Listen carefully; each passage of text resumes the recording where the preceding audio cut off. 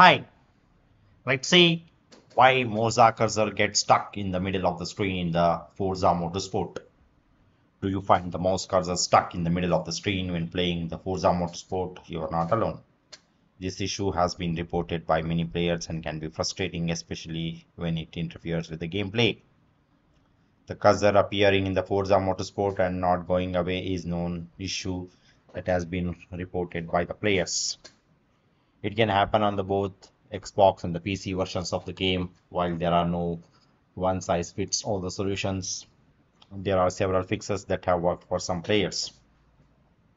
So why Morza, why mouse cursor stuck in the middle of the screen in the Forza Motorsport? One possible reason for the mouse cursor stuck in the middle of the screen in the Forza Motorsport is outdated drivers. If your mouse drivers are not up to date, they may be not be compatible with the game and could cause the cursor to get stuck.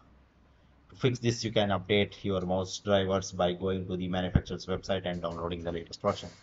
Another reason why mouse cursor may be stuck in the middle of the screen is incorrect mouse settings.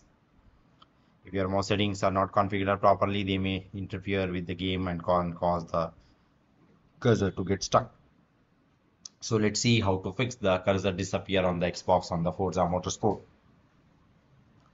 The first method is restart the game. The first thing you can try is to restart the game. Sometimes the cursor may appear due to the glitch or the bug in the game.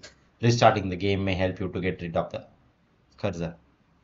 Second method is restart your console.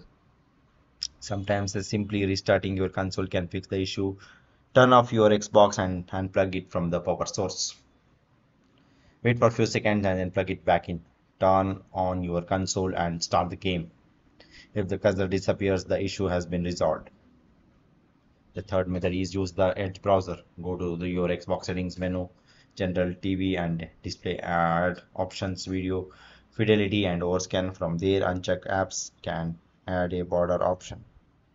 Open Edge browser and move cursor as for bottom right corner of the screen.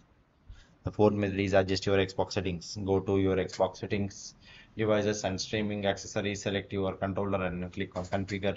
Under the cursor tab make sure to that the cursor is turned off. The fifth method is update your console and the controller. If the above solutions don't work you can try updating your console and the controller.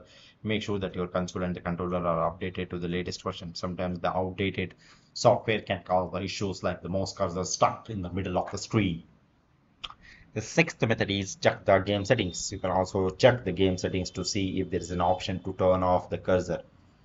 Go to the game settings and look for an option that says the mouse cursor or the cursor visibility. If you find this option, turn it off and the cursor should disappear. Okay, so this is how we can fix why mouse cursor gets stuck in the middle of the screen in the Forza Motorsport. Okay, so that's all about this. Thank you.